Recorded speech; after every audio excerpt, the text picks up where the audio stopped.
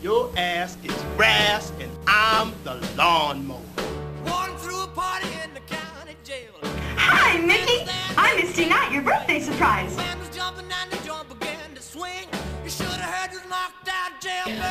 you remember when he died? We mean the actual date or exactly when it happened? When it happened, the exact day. I was, uh, I was one. See, I was three, but I remember like it was yesterday. Elvis looked good.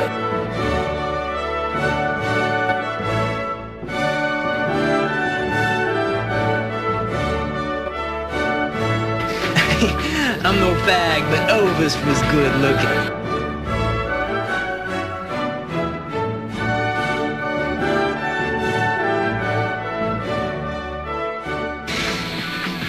I always said, you know, if ever I, I had to fuck a guy, I mean, had to because, like, my life depended on it, I'd fuck Elvis.